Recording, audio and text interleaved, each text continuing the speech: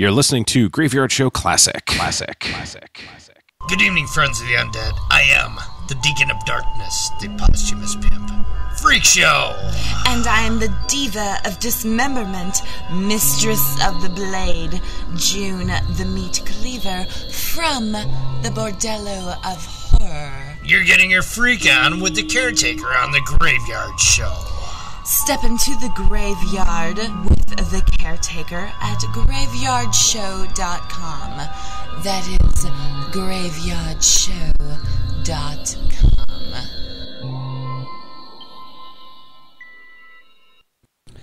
Podcast number 41, October 22nd, 2009.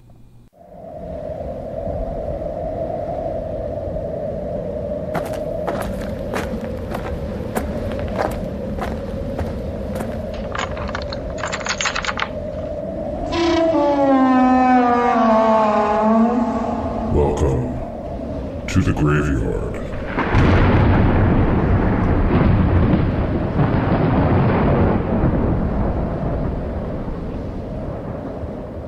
Good evening, everyone, and welcome to another episode of The Graveyard Show. I'm your host, The Undertaker, and the graveyard is open.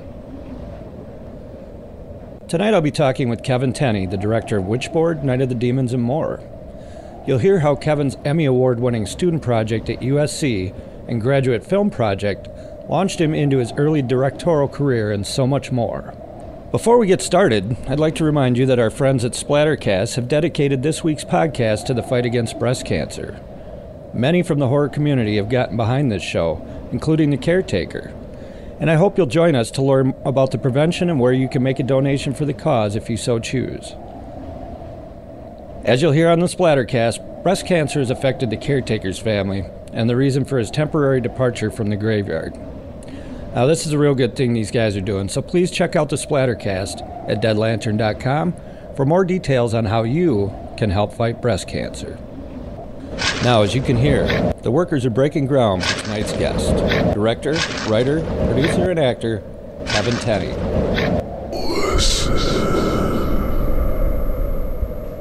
Tonight's guest, Kevin Tenney, got his start when he was accepted to the Cinema Television Department of the University of Southern California, where only the top 5% of students were given the opportunity to direct either a senior project or a graduate film. Kevin was and still is the only student in the university's history to direct one of each.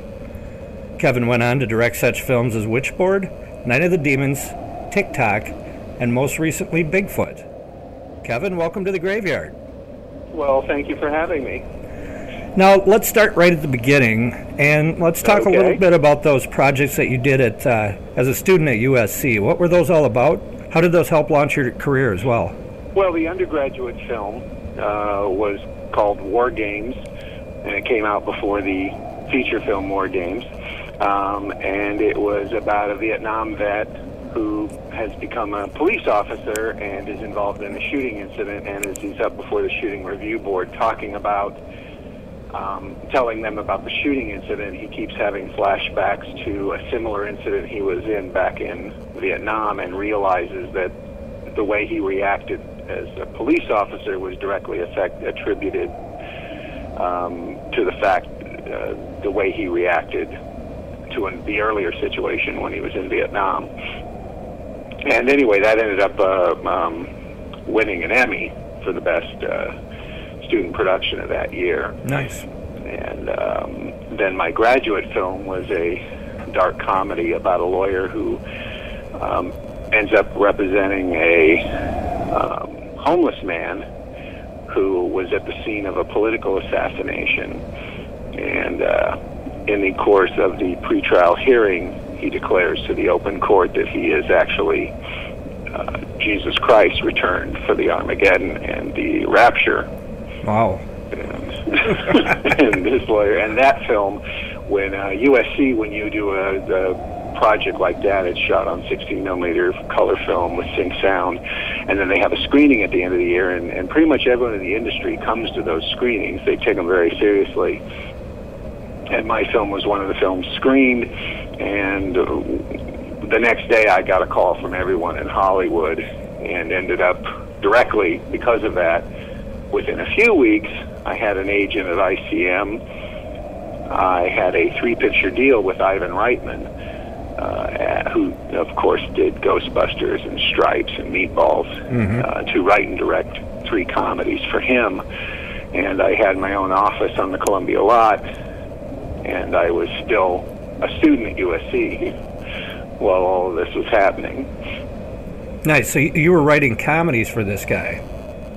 Uh, yes, I wrote one comedy for him, and in the process of that, I had written in a screenwriting class at USC. One of the assignments was you had to write a feature screenplay. So the first feature screenplay I ever attempted to write was uh, a horror film, which I did not know a lot about horror films because I was not a big fan of them. But when I had lived in Alameda, up in the Bay Area, I lived in a house which had uh, an apartment. It had been a house, a Victorian home that had been converted into like eight apartments. Mm-hmm. And I had a little party, and a guy, one of the guys that came to the party, brought a Ouija board with him, and everyone was playing with it. And I remember just while I was watching him play with it, thought, well, that'd be an interesting. I mean, I don't, I haven't seen a lot of horror films, but I've never heard of one that's actually based on a Ouija board that could be interesting Right.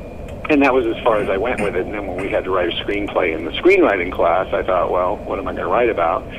And I remembered the Ouija board, and I got some books and did some research, and found out there was like all sorts of interesting stuff, you know, progressive entrapment and possession and opening portals and all that stuff. And I thought, ah, I think I could do something with this, and I wrote that. A friend of mine in film school had left uh, to uh, go work for a commodities broker, and the broker just happened to mention to him that he was getting tired of commodities and maybe wanted to get into the film biz.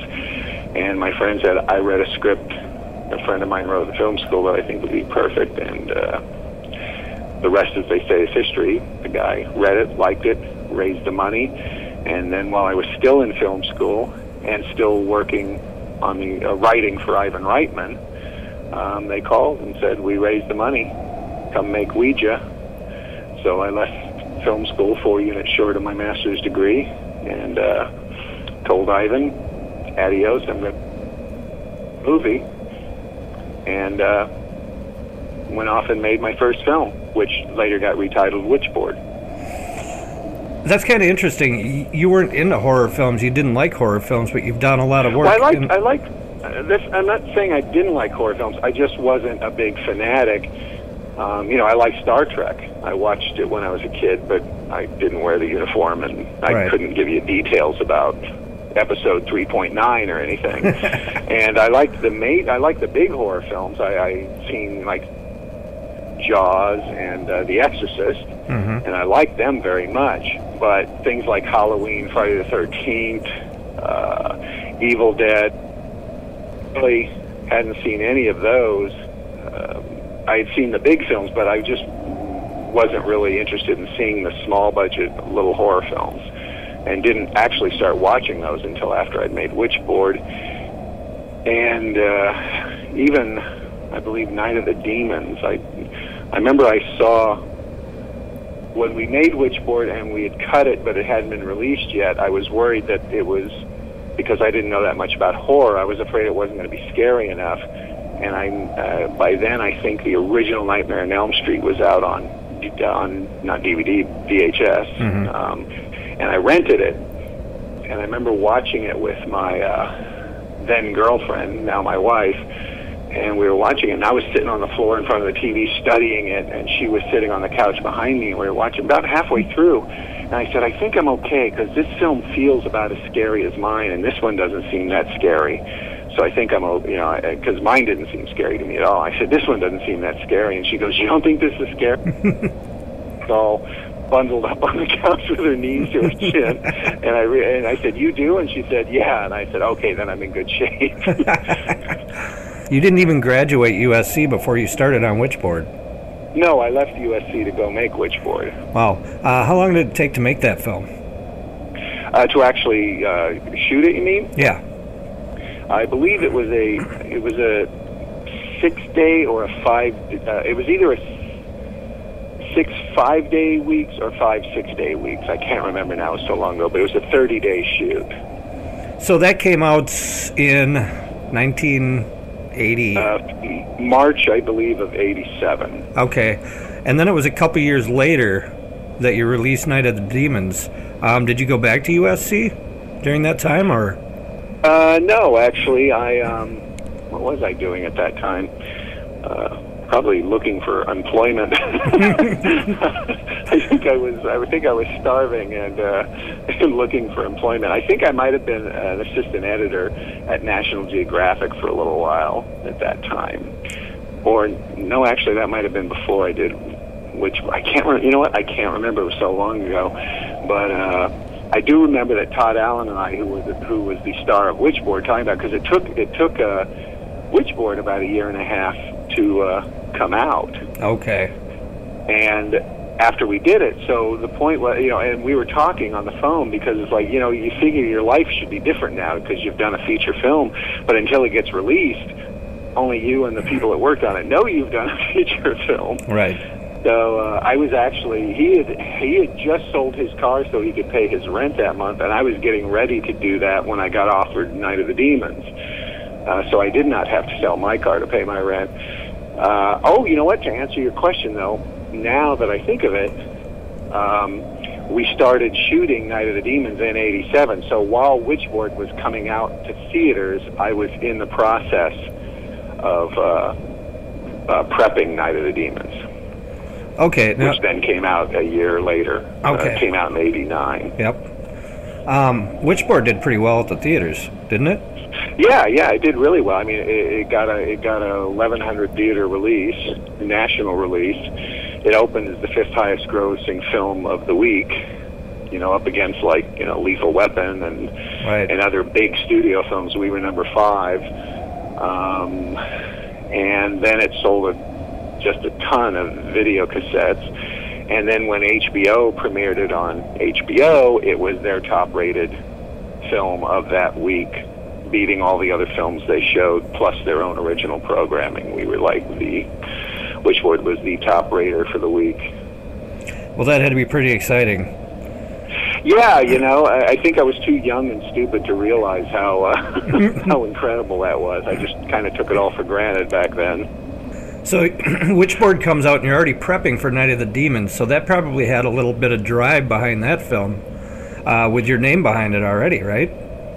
Um, you would think so, but it had. But Witchboard, when we were like when we were casting Night of the Demons, Witchboard wasn't out yet. Right. and because the script was so vulgar and foul-mouthed, and we were casting in the middle of television pilot season, we were having a really hard time because not only, I mean, we weren't looking for named people, we were going with unknowns, but all the big studios who had, who had, you know, they have like their A tier, the people they think are going to be stars. So they're very protective of them. So when we did Witchboard, the script was very character. It was even though it was a horror film, it was a character driven. Also, I had my name had a lot of clout at the time because um, my film, my comedy Book of Joe, had just been a you know a big smash hit, and everyone in the studio, everyone in, at, at every studio had seen it, knew about it, and I had a lot of buzz behind me. So ICM, William Morris. Uh, uh, UTA, all the big agencies were sending the people that you know, they're Tawny Kitaen and people like that caliber to us that they thought were you know were still unknown, but were going to be stars. Right. Whereas when we were doing Night of the Demons, if they had someone they thought had a chance of being uh, having a career, they didn't want them in you know, so we they'd come in and read for us, and then we'd say, yeah, we like him or we like her, and they'd say, no. uh, no, they're going to pass. so it was really tough to cast it. Actually, I, I, from what I understand, Night of the Demons 2 was much easier to cast because by then Night of the Demons 1 had been a hit. Right. So, but yeah, so uh, we were still unknowns because Witchboard wasn't out during the casting stage. It came out while we were just about to start shooting. Now, did you write Night of the Demons, or were you just the director on that? No. I just I was just the director on that. Uh, a guy named Joe Augustyn wrote was the writer and the producer on Night of the Demons. That's still one of my best favorite horror movies from the '80s. Yeah, no, it's a it, it you know it surprisingly was a huge. Joe always believed it would be. I was I was skeptical. I was actually I mean I did my best. You know I believe that you know whether or not you think it's going to be good, you still do everything you can. Um, but after we shot it and made it, and I, you know, I thought, oh God, I better go out and find another job because when this hits theaters, no one will hire me. So, you know, what do I know? Then it comes out in Variety, just gives it this, you know, big fat rave review. So, you know, so I was pleasantly surprised, and you know, it's become this big cult favorite now. Yeah, I don't think I actually ever saw it at the theater. My girlfriend at the time wanted to rent it, and I was a little skeptical. But then once we watched it, we went out and bought it, and I think she ended up with it because I don't have it anymore. which brings me to the next question. You know, Witchboard and Night of the Demons did amazingly well, both in theaters and v- on a VHS. Now, Yes. is there anywhere that our listeners can pick up copies of these films on DVD? Um, well, they, they did finally come out on DVD. Both of them were released by Anchor Bay uh, maybe five years ago. Okay.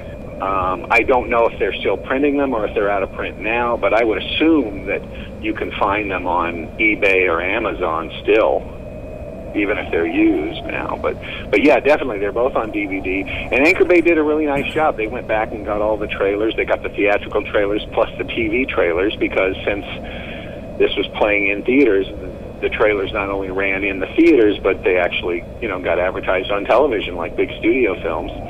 So they they have the TV spots.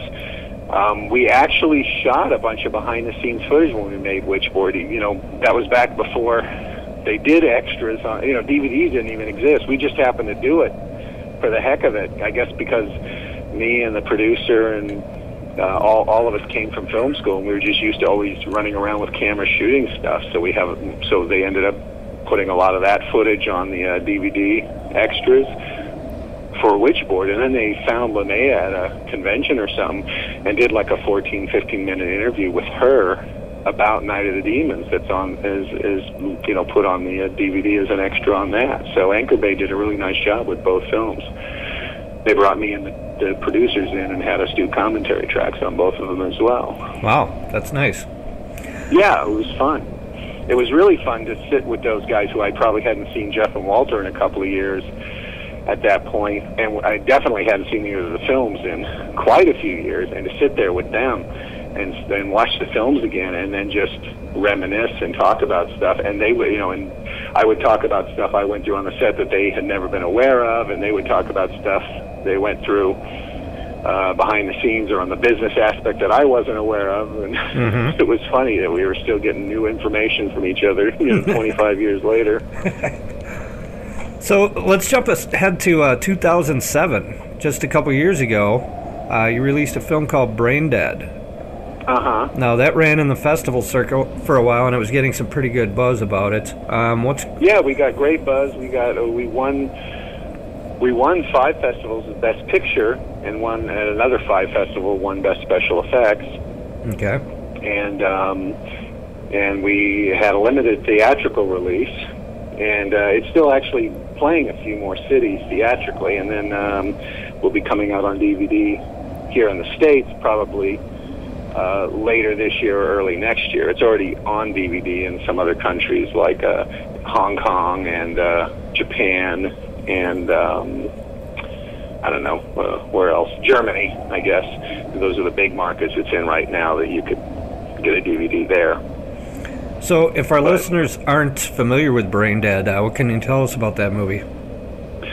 Um, it was written by another friend of mine from film school who actually um, is a comedy writer. He wrote like for the old Bruce Willis show Moonlighting, Mm-hmm. and so he wrote this script that the characters are all really funny with funny dialogue, and it was a horror script because we had decided we wanted to. One, a bunch of us were sitting around. Me and other film school friends were sitting around, and we were talking about how it was. You know, we were living the dream, making these big real movies, but how we kind of missed that guerrilla filmmaking camaraderie that we had in film school. And so we said we should form a company and make a little film for very little money, and basically do it that way again. And so he said, Dale, you, you can you write the script. So he wrote, and we decided it should be a horror film, uh, since it was going to be a small film. And he wrote a really funny, you know, the script is really funny as far as the characters, but it was originally a giant spider, and we said, well, we can't afford to do that on this budget. So I came up with the idea we'll turn them into zombies. You know, instead of the people being trapped in a cabin by a giant spider, it'll be zombies. And so it's like basically like Friends or Cheers with zombies. so it's really witty dialogue, but then really good, cool, gory, gross kills and lots of gratuitous female nudity. yep. And it's it's kind of got a little different take on the zombie thing. They become zombies in a different way. Yeah, they aren't really. Uh, uh, that's funny, you know. It's like George Romero made the film that became the Bible for zombies, and never called them zombies. Never used the word zombie in the film, and himself never thought of them as zombies, just as reanimated dead. Whereas our characters completely, totally call these things zombies, but we show and explain that they really aren't. but that's what our guys call them because they look like The Walking Dead, so they just keep referring to them as zombies. Yeah, I've, I've actually had a chance to check out that film a couple times, and it's a great movie. So when it comes out on DVD um, later this year or early next year, I strongly urge you to get out there and pick it up. Um, I dared you to do the same. now, you've done a lot of films. You've done a couple films outside of the horror genre, including Peacemaker and Demolition University. right, which were action or science fiction. All right, and then last year in 2008, you directed the film Bigfoot. Now, this takes Which you away from takes you away from the horror genre, and it's a truly a family film. Well, I've been wanting to do one for a long time. I really wanted to do one like 20 years ago when my kids were little. I said, you know, so now, but there's a lot of people. Uh, my wife's side of the family is huge. It's like, you know, I always say I married into the King family uh, or, or the Osmonds or something. So um, there's still a lot of nieces and nephews that are younger. So I just wanted to make something that they could all see. So when the opportunity came up, I, you know, I, I jumped at it. Yeah, absolutely. I would love to do this. I would love to make something that, you know, all the kids could actually watch.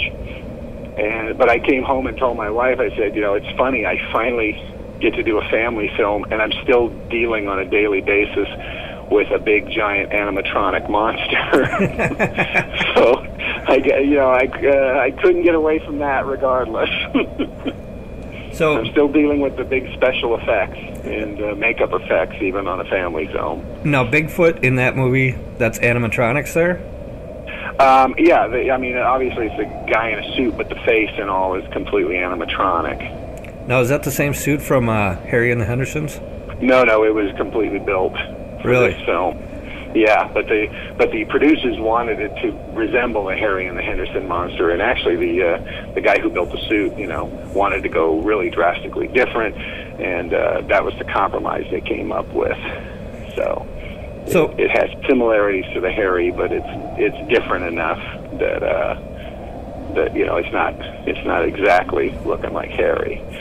Uh, I actually wasn't involved with any of that because it had there was an, another director attached to the film at first who got sick and had to bow out like two weeks before production.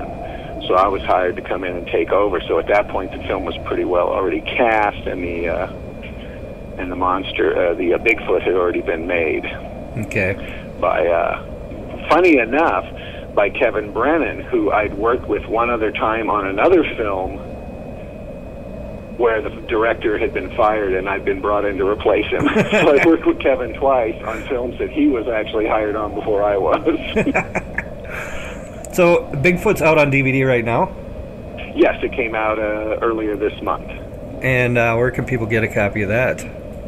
Um, I believe Walmart just has a ton of them, and again, you can you know find it on Amazon.com. Right. and it uh, stars the lovely Angie uh, uh, Angie Everhart, and uh, she was an absolute doll to work with.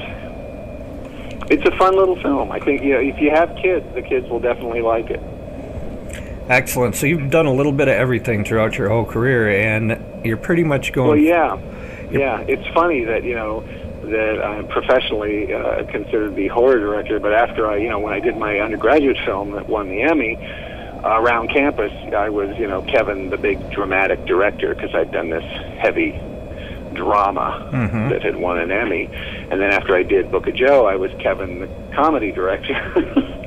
and when I was first going out uh, and meeting with agents and studio heads and all, everything they pitched me uh, to do was, you know, oh yeah, you you know, may, would you be interested in doing Meatballs Four or Animal House Twelve or whatever? Everything they pitched me was a comedy. And then the first film I happened to make professionally was Witchboard, which probably wouldn't have made me a horror director, except that it was su- it was such a big hit that suddenly I was the horror guy. Right. The guy who had maybe seen 20 horror films his entire life was suddenly the horror director. So you've made all these great films, and now you're kind of going full circle. Um, you're involved with the remake of Night of the Demons, correct? uh, yeah, I'm one of the producers, and my company, um, Prodigy Entertainment, was uh, co-produced it with Seven Arts, and actually my partner Greg McKay and I were the ones who uh, put the deal together. We got the rights from the original uh, production uh, company, uh, Blue Rider Pictures, and then uh, once we had secured the rights, we contact we we uh, contacted Seven Arts, and they were interested. So we worked out a deal and and got the thing made. It's already filmed. Oh yeah, it's filmed. It's uh, it's in post. It actually uh, we premiered it at a film festival in England uh, uh, a couple of months ago. Really? Uh, Hopefully, it's uh, it's coming out. It's, it's coming to theaters in February, or at least that's what I've been told. That's excellent. Um, who's on the cast of the remake? Um, Shannon Elizabeth plays Angela. Mm-hmm. Um, Monica Keena is our heroine, and, along with Diora Baird and. Uh, Oh man, I should have an IMDb page in front of me. Uh, Bobbi Sue Luther and uh, Edward Furlong, and lots of other talent. Oh, and we got uh, other talented actors as well as cameos from Linnea Quigley and uh, Tiffany Shepis. Nice, nice. Yeah, yeah. No, we have a, the whole cast is really strong. Really, uh, another kid named Michael Beach who uh, uh, really good, and uh, M- Michael Copon, who I believe was a Power Ranger at one time, Oh, really? and uh, is also just uh, you know they all did a great job. It was really, really a good, strong cast. now, there's a lot of remakes being done out there. Um, Uh-huh. And you worked as a producer on this one, correct? Yes, I was one of the producers. Did you have a lot of uh, creative input for the film? Uh, well, actually, I was not the on the. My partner was the one who was on the set day to day. He was the one that dealt with the day to day production. I was involved with the writers while they were writing the script, and then I, um, you know, I, I gave notes to the director during the rough cut stage. But uh, no, I did not have a ton of creative input, and I because I was off actually during. It just happened that way. We didn't plan it that way, but it just happened that Big uh, Bigfoot went into production the exact same time as uh, um, Night of the Demons. So Okay. we were actually they were both being shot at the same time, so I could not be on the set for Night of the Demons because I had already committed to direct Bigfoot. This is obviously done with a bigger budget than the original Night of the Demons, correct? Oh yeah, quite a bit bigger. Um, do you think that I think helps? The, uh, I think just the cast budget was more than the entire budget of the original. Do you think uh, the bigger budget actually helps or hinders um, getting across the original story? Um, well, one, it's not the original story per se. You know, there are a lot of changes uh, to it, but I think, I think, I don't know that money matters if if, if the film is done well. Right. There's some nice stuff in there that we couldn't have afforded to do on the first one, but we still managed to pull off some really great shots in the first one with no money that we don't have in the second one. So I think I think it goes back and forth. You know, it's different directorial styles and different houses and different uh, locations. But yes, absolutely, I think having more money helped because you could get some more big shots that we couldn't have gotten with the original budget. But does it mean that the uh, you kind of lose that grittiness that you had? Yeah, sure. I mean, the Texas Chainsaw remake looks a lot better than the original Texas Chainsaw, but there's a grittiness to the original that isn't there in the slick, polished, big budget remake. Exactly. Well, I'm interested to see this because, like I said, it's one of my number one favorite horror films from the 80s. Well, hopefully you'll uh, you'll count the remake as your new number one, or at least your number two. And hopefully I'll be able to see it in theaters very soon. yeah, yeah, I hope so too.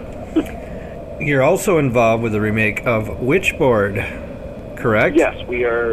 Again, my partner and I obtained the rights to Witchboard, and we're out now uh, trying to put that whole package together, like we did with Night of the Demons. So you're basically just setting up, you're prepping for it right now. Uh, well, yeah, we're in the very early stages. We're still seeking, you know, we're still putting the financing together and looking for uh, uh, possibly having a pre-sale deal with a distributor or having it set up with a studio. So we're in the early stages. So that's that's all going through uh, Prodigy Entertainment, your company, right? Yes, yes. Right now, Prodigy Entertainment is the only one involved with Witchboard. Yeah. Okay, Kevin. Um, you've done a lot of great work in the past. It sounds like you Well, got I some great it. stuff coming up in the future. Um, if people want to find out more about the film, about you, about what's going on with your company, um, is there a website that they can go to? We have a website right now, uh, www.tenneybrothers, all one word, tenneybrothers.com. Um, they can kind of look stuff up. Unfortunately, it hasn't been updated for a long time because we're planning. We kind of let it go while we're setting up a new Prodigy website, which is not up yet. So, you know, keep checking back for that. But in the meantime, um, you can at least uh, go to Tenney Brothers and. Uh, you can contact us uh, or contact the uh, fan site, and then and, you know they can always forward stuff to us if it's stuff that should be forwarded to us. Okay, that's tenneybrothers.com. That's spelled T E N N E Y brothers.com. That's it. Okay, is there anything else you'd like to add tonight? Um, no, we're just uh, you know we'll probably be screening. Uh, oh, I know what you know. If you live in the L.A. area, Okay. um, the uh, New Beverly Cinema on uh, Halloween night is going to be screening a 35 millimeter print of Night of the Demons, the original. Excellent. I'm sure So, we'll be uh, talking with uh, Ray McDermott about that next week. He's been keeping us go. updated and on. Uh, and uh, and hopefully there will be a Brain Dead screening somewhere up in the Bay Area on Halloween of Brain Dead. So Excellent. uh, those are those are that's that's one we're still trying to work out. So uh, if you live in Northern California, you can go. Maybe we're ho- we're hoping to have a theater for you to go see Brain Dead in, and if you live in Southern California, we definitely have a theater you can go see Night of the Demons. Excellent. Well, Kevin, keep up all the good work, and we'd like to thank you for stepping into the graveyard with us this week. My pleasure. All right, Kevin, you have a good night. You too. Now, as we close down the graveyard, I'd like to remind you as you exit, please lock the gate behind you. We wouldn't want anyone to get out. Until next time.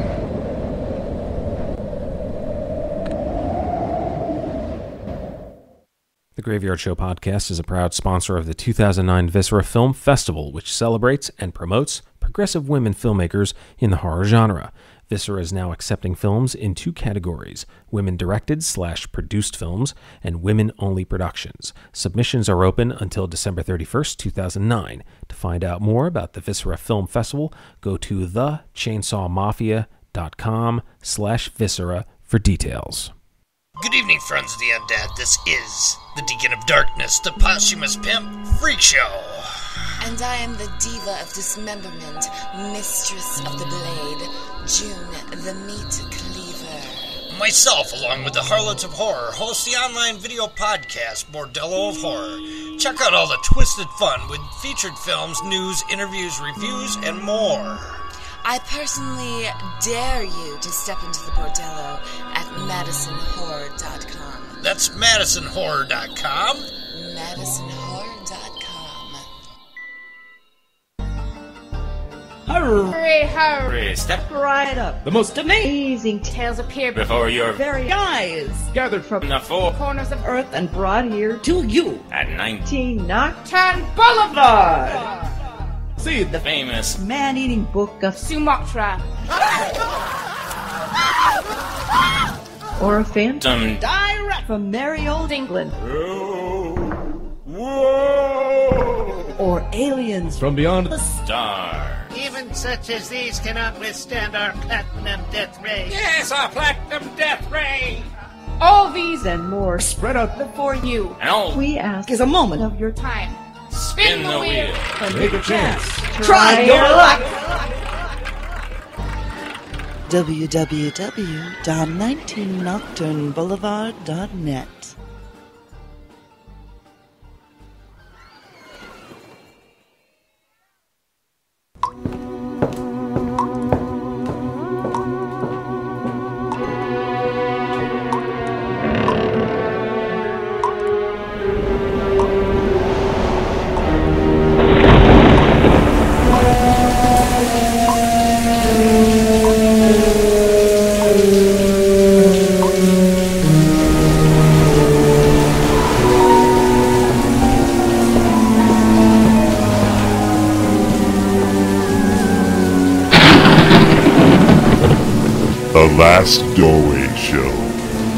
features interviews, news, conventions, and independent horror films.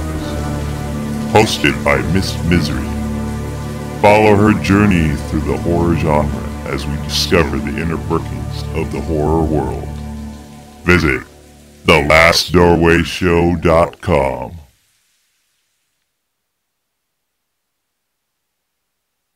Due to the graphic nature of this program, listener discretion is advised.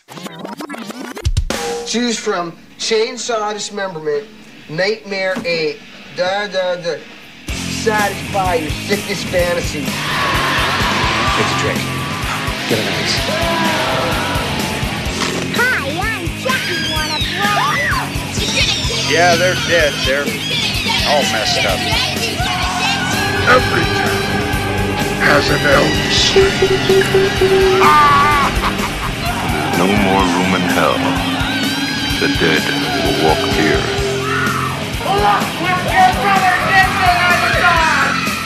We all go a little mad sometimes. Haven't you?